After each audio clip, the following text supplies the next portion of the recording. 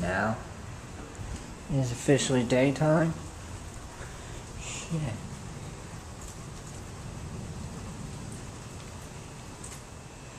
It's not amazing or anything, but it's definitely kind of interesting.